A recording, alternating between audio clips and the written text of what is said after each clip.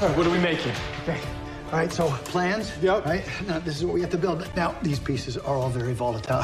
We- How's this look? okay, that's good. Wow. Love when he does that.